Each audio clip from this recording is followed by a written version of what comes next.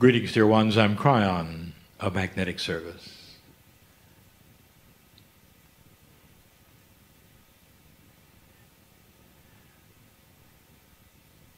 We've spoken to you so many times about the beauty of who you are. And we've said to those who sit in front of me in person, to those listening later, that inside of you, at a level that is multidimensional, which you cannot even fathom, is the actual creator of all things. The biology you carry, that you call yourself, is temporary. This day, my partner brought you a concept on purpose that would help you to understand more about the reality of the fact that reincarnation is the way of it. The word is not necessarily the word we would use. We would say life expression. When your soul would come back and inhabit that which is another human being's body that you continue with as your soul. And so there is something here to look at. It's beautiful. What did you think when you saw the proof that was given today that the potential of coming again is real? So now it's time to start connecting the dots. Because there is a responsibility that starts to come with the elegance of your maturing soul. I'm going to call this channel Soul Stewardship.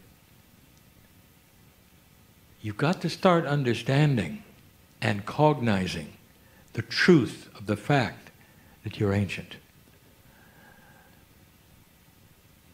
Question For you to use spiritual logic, if you come back again and you're a human again, is it an accident?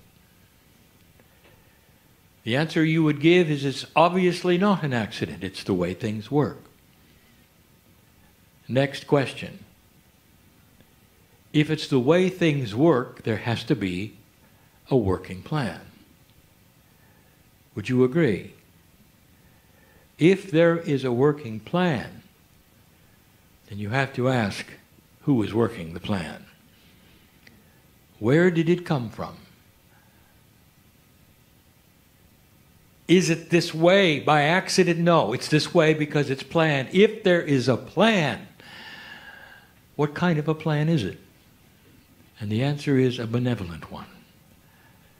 One that knows who you are the thing that we have approached before that is so difficult for you. A question was asked this very day that my partner could not answer, and so I will. What is the distance of time from the death of the human being that has your soul to the time when you will come back and inhabit yet another body with the same soul? What's the distance of time in reincarnation? And this is where it gets good. Dear ones, there is no rule that says you have to stay away.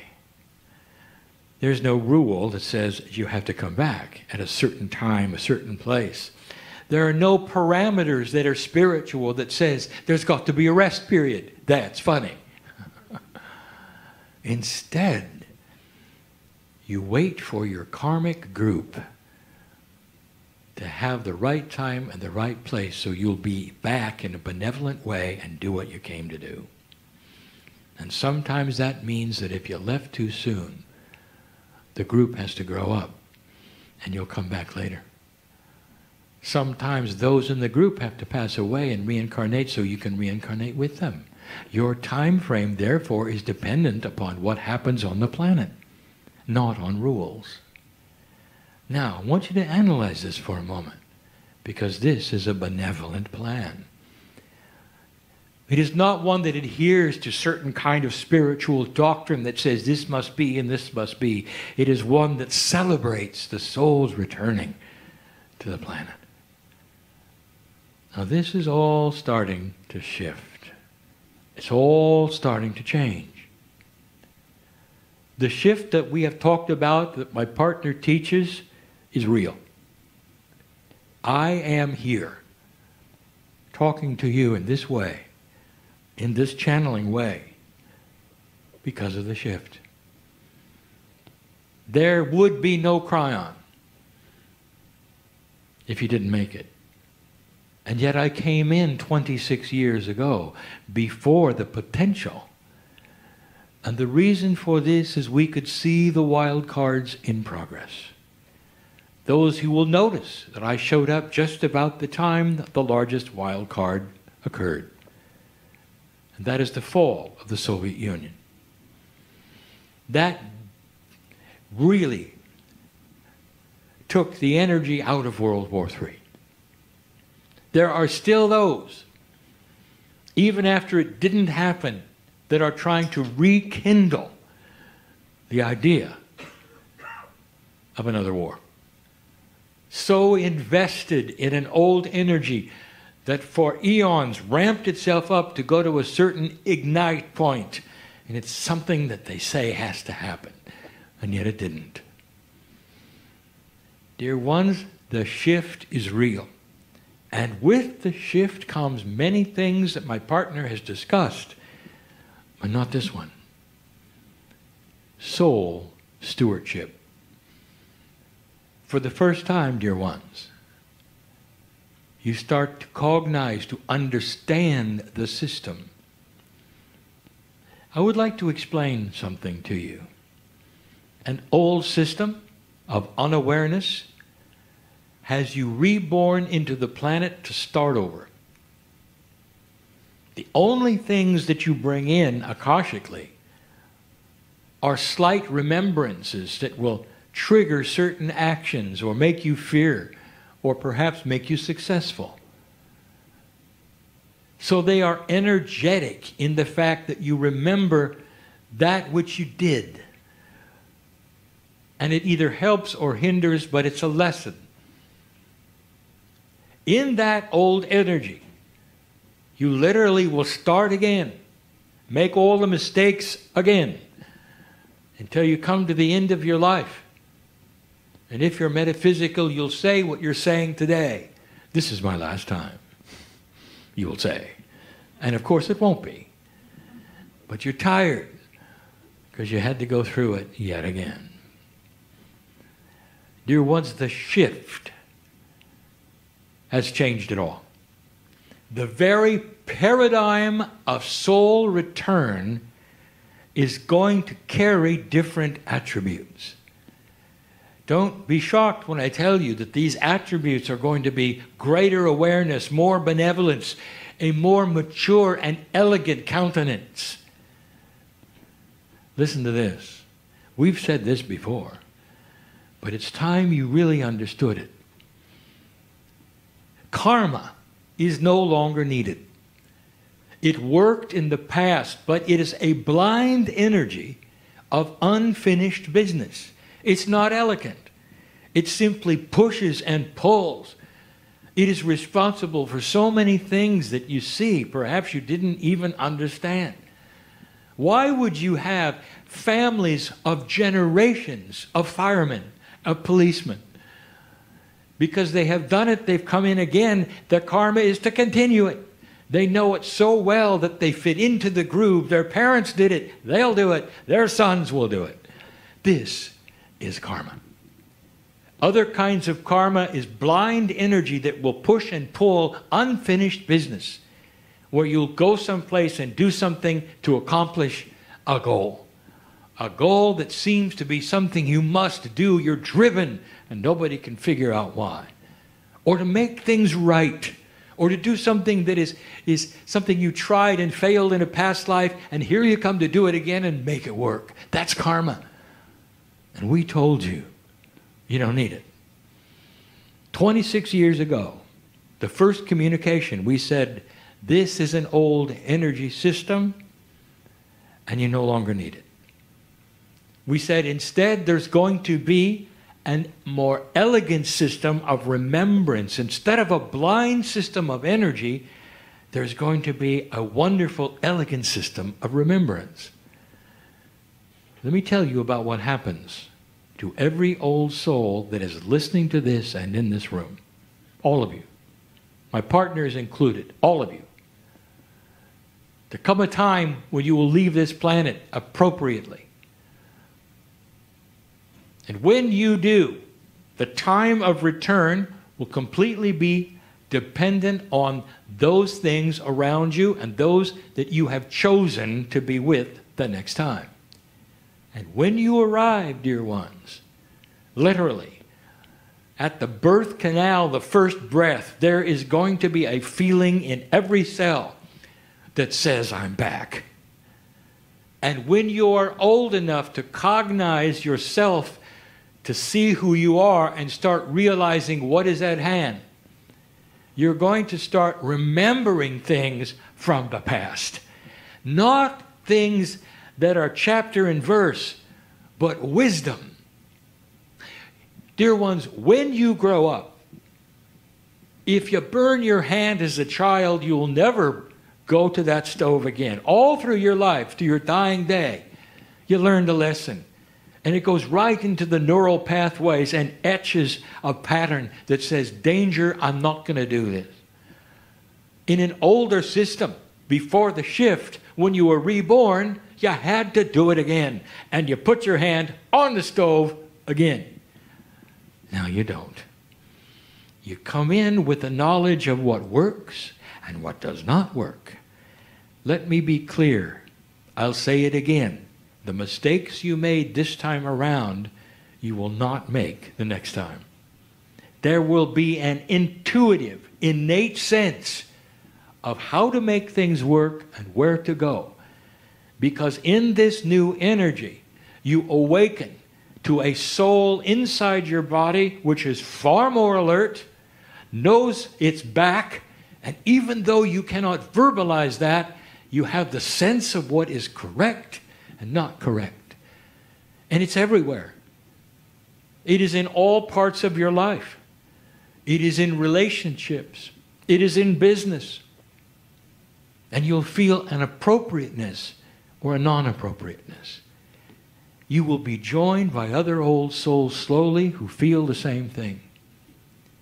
There'll come time when a population starts to grow in this manner because of the shift. They may not be spiritual, it doesn't matter. Because they are starting to awaken and remember what works and what doesn't. And that is why I will tell you again that after this shift, the generations to come will not create war because they know what doesn't work. Up to this point, every time you came in, you started over. History repeated itself because the generations didn't learn anything. Not really. You're never old enough. You die too soon. If you had lasted 200 years, you'd have known better. You would have seen it. You would have remembered it. But you don't. And therefore, one generation comes in without the knowledge of the wisdom of the last and repeats that which you did before. That is all stopping now. Old souls who return are going to start feeling a responsibility for stewarding their soul. Now, here's where it gets good.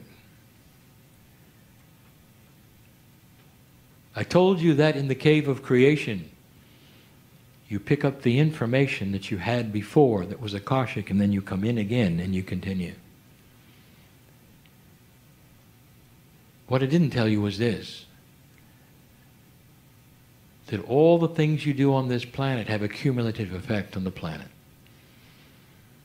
every lifetime you'll have from now on because of this new responsibility.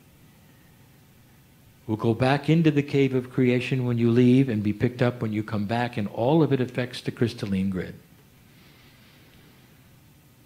If you are wise enough to start stewarding that which is your higher self, your soul, you'll start understanding that what you do stays, goes into the planet, becomes part of all things. An individual who stewards their soul now and later, this will be the intuitive part of the new human. The new human will recognize there is a plan of return. Will recognize that a return means you pick it up and you go from there.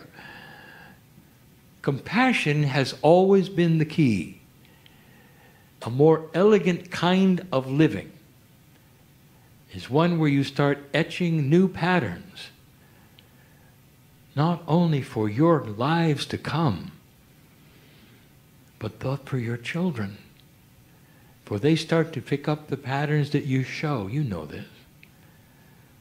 This gets right down to how you live. And we say it again to all of you.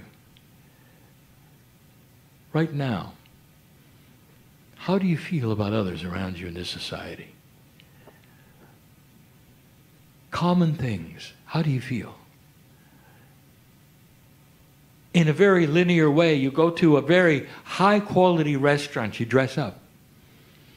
You know that it's going to probably be costly, but you're ready for it because you're there.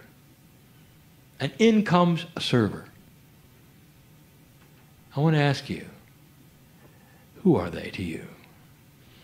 When you look at them, first glance, old soul, oh elevated one, who are they? There'll be some who will say, well, the scenario today is I am important and they are serving me. And so I will treat them accordingly. They're the servers, I'm the servee. This is the energy you were taught. This is the energy that prevails in a linear fashion. This is what is expected, even by the one who is serving. But an elegant old soul who knows how things work and is stewarding the soul emotion, that which gets etched into the crystal, into the planet, will see that server just like them. And the server has the peace of God which is just as beautiful as yours. And there is no separation, even for the elegance of the dinner or the cost of it. The server then becomes part of the family. You can even imagine the server sitting down at the table and enjoying the meal with you. This is a minor, minor example of what we're speaking of. How you see others forgetting the scenario completely of status, of gender, of age, where you can look at every single human and see that they're stewarding their soul too. And together you see the commonality of the love of God in each. I'll tell you something you'll think will be funny, but if you do this, your meal will taste better. This is the way of it.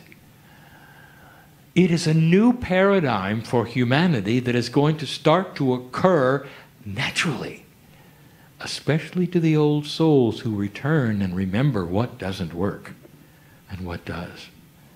And the key has always been can you see God in others, no matter what they're doing with you?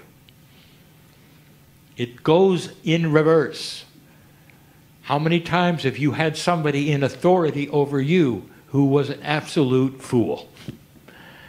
And you can say, that's normal. What if it is normal? Can you see the God in them? Can you bless them in their foolishness? Can you smile anyway? Can you see a bigger picture of what all are learning and yet do your job in a way that honors them, even in their foolishness? without spite, without anger. I'm talking to somebody who needs to hear this. In relationships that don't work, and sometimes you feel are endless and you're stuck there.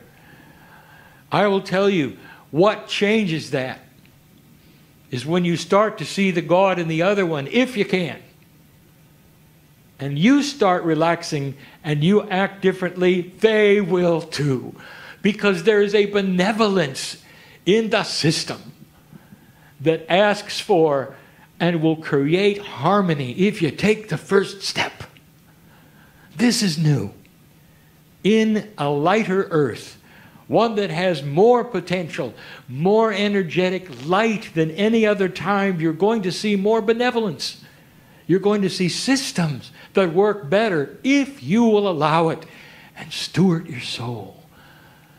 Because what you do from now on sticks in a way that never has before. The alliance you have with Gaia is closer than ever before. Believe me, you're going to pick up what you reap the next time around and the next time. And you'll know it.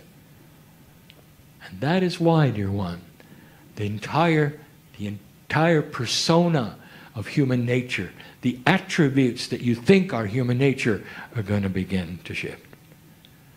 It's going to happen worldwide.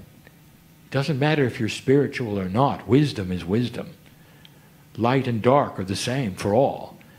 And when you arrive in a brighter, lighter earth and take on more wisdom, even if you're not spiritual, some things will start occurring to you that are very mature. Some are already seeing it in the children in a very minor way.